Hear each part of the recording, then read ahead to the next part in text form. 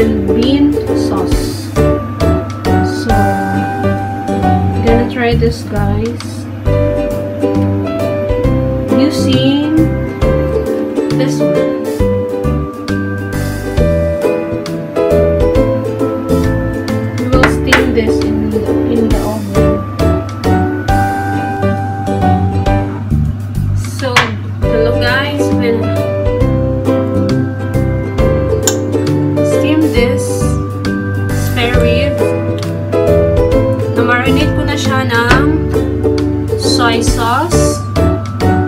sugar, and uh, corn flour.